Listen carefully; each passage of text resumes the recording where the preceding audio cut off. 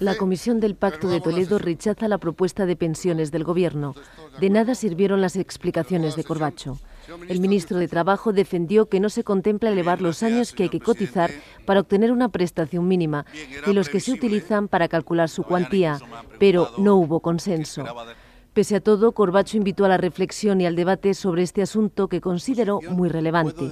Así lo manifestó durante su comparecencia en la Comisión No Permanente del Pacto de Toledo del Congreso de los Diputados, donde apostó por la reforma del Gobierno, cuya propuesta principal es retrasar en dos años la edad de jubilación. Contra esta reforma, los líderes de UGT y comisiones encabezarán esta tarde la manifestación de Madrid, que junto con las de Barcelona y Valencia abren una oleada de movilizaciones durante los próximos 12 días. Thank you.